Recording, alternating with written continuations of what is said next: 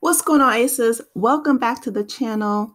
So, Tory Lanez has been sentenced to 10 years for shooting Megan Thee Stallion. You guys remember he was found guilty last December for shooting Megan Thee Stallion in the foot in 2020 as they left a party at the home of celebrity Kylie Jenner. And a lot of people were divided about this. So I personally made a video. You guys can go back and check the date back. And I said, you know, I'm on Meg's side. I believed her. I knew she was telling the truth. And the gag is, she wasn't even going to say anything. Like, that is, you know, heartbreaking in one instance, I know she was trying to protect him. A lot of people, specifically, I know a lot of Black women, myself included, right? We're socialized as young girls, you know, told to protect Black men and all these things when nobody's looking out for us, okay? But anyway, you know, she wasn't going to say anything. And then he started to attack her character online. He just really started to come at her. So Meg was like, you know what? Bet I got you. You know what I mean? Um, and she and she she did what she needed to do. And I'm glad that she did because it set a precedent, okay? That you don't just do whatever you feel like you're gonna do and harm, shoot, abuse black women and think you're gonna get away with it. No. So Los Angeles Superior Judge David Herriford spent the last two days listening to detailed, detailed arguments from prosecutors and the defense before handing down his sentence. Tory Lanez was found guilty back in December of three felonies related to the unregistered possession and negligent use of a semi automatic firearm. Um, legal affairs journalist Meghann Cuniff has, she's been all over this, okay? By the way, she her Twitter is just keeping us informed with the fact that Iggy Azalea, okay, it Ti you will pay, okay, you're gonna pay for your crimes. Um, Iggy Azalea, if y'all don't know her, she is the Australian chick who cosplays as uh she just culturally appropriates everything the the Nolans accent all those things. Like, girl, no, sit down, have several seats, several folding chairs. Okay. You're from Australia. Okay. But, um, you know, she made that song with T.I. Um, I don't want no mediocre. Okay. Which is ironic in and of itself. But that's another that's another issue for another day. So she writes the judge this letter, lies about it, by the way. Um, she didn't think anybody's going to find out. But the reason why I brought it up is because Meghann Cuniff posted it online. But basically, Iggy was saying how she didn't want him to serve jail time, you know, that she was going to help him, she was going to do all these things. Like she was basically advocating for Tory Lanez after he shot Meg Thee Stallion in the foot. So the prosecutors, they wanted a hefty prison term. They actually, I think, wanted 20 years. And Tory, you know, and his fans, like like he had a fan outside in this cotillion white dress with the gloves.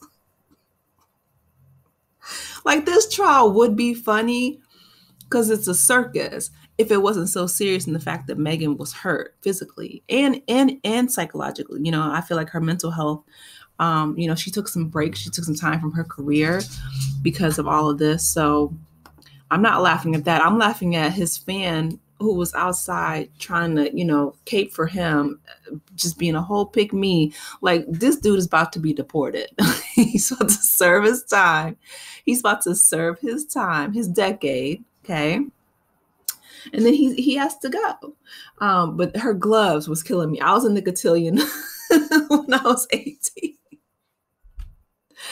My grandmother, who's from the South, this is just a side note but she wanted me to be in the cotillion. It was fun, right? It was fun. I think it was put on by the Deltas, Delta Sigma Theta, sponsored um, me and the rest of my girls from high school.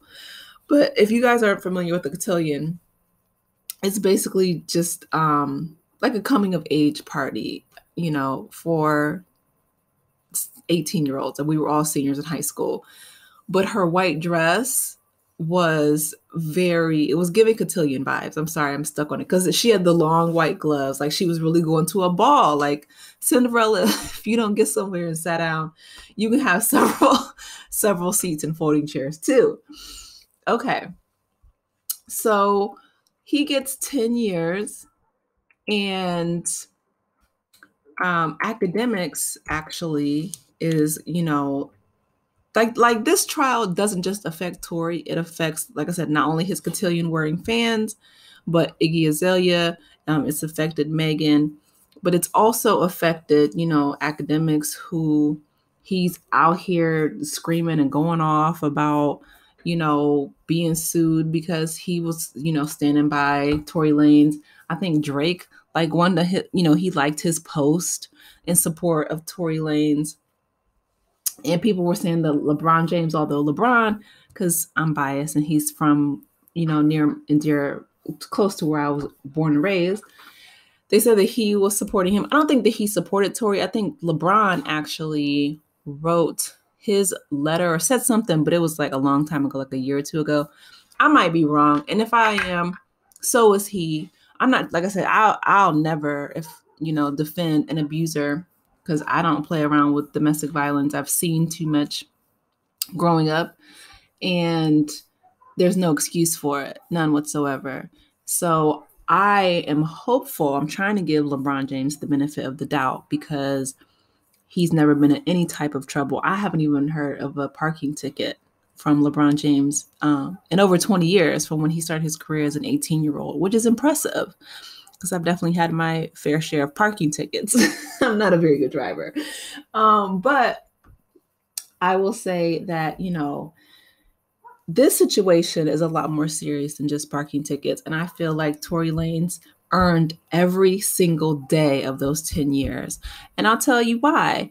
Because again, going back to what Megan said, that she wasn't even going to say anything, and she was shot in the foot and she was still going to, you know what I mean, hold him down, 10 toes down, okay, with a hole in her, a bullet hole in her foot. And he has the nerve to try to attack her character. Sir, you just shot this woman. Like, are you serious right now? And I don't care if he did it out of fear. He got his hair doctor, his doctor um coming out trying to, you know, ask for leniency because he has I don't know. They say he looked like Cynthia from um, Rugrats. that's what the streets, that's what the social media streets are saying. You're a man, shave it off. It, you you know, it, you're always wearing a hat anyway. Like nobody sees your hair. Nobody cares. Like nobody cares. That's the thing. I cannot, to be honest, I'm I'm not trying to be funny. I cannot name one Tory Lane song I don't listen to him. And this was before the whole incident with Megan. So um, he needs to, you know, do his time. And then he needs to go ahead and go on home, go back up to Canada. Um, you know, um, he needs to chill out literally because it's super cold in Canada. Every time I've gone, even in summer times, it was really cold to me. But yeah, you know, this is obviously not a place that he needs to be because we have laws here that protect American citizens from abusive men like Tory Lanez. So he and his Cynthia haircut, he can find a doctor up there, I'm sure, but he can do something else. You know, he can sing Oh Canada or whatever it is. You know, I like Canada. Okay. I, they don't need to catch the strays. I'm just upset that the fact that Meghan was going to protect this man when he wasn't trying to protect her. You know what I mean? Like everybody was coming for Meg, Kylie, you know, just all these rappers and stuff. So if she decides to go after Akademiks because he was running his mouth too much, and him and you know Erykah Badu, you know, who was op- listen, Erykah Badu is not one to play with. But if you want to play those games, you're gonna find out like the people in Alabama. But okay, um, you know, she called him Jerry from Tom and Jerry, which she she was telling the truth. but she also, you know, got on social social media and she's just been spraying him, pretty much calling him everything uh, but a child of God. And so, you know, if he wants that smoke with Meg and Erykah Badu, he's, you know, on his platform screaming and cursing and he's scared. I mean, but he's another one that, you know, um, he's writing a mouth, he's writing a check to his uh that his mouth can't cash, that his butt can't cash, to be honest. So if he wants to continuously have all this smoke for women, which is what he does, that's what that's what a lot of bullies do. And um men who are little boys who have not matured or grown up, they have all this smoke and all these things to say to women. But when it comes to handling their business like a man, they fall short every single time. So, bye bye, Tory Lanez. I really hope that you spend that next decade in prison thinking about what you've done, uh, reflecting on the choices that you can make once you get out and go back home. And I hope that you keep your hands and firearms, or you won't be. Well, I don't know Canada's laws, but just keep your hands to yourself. Okay. All right. With that being said, y'all, if you have not already, please be sure to subscribe to the channel. Please like it, and I will talk to you later. Take care, aces. Bye.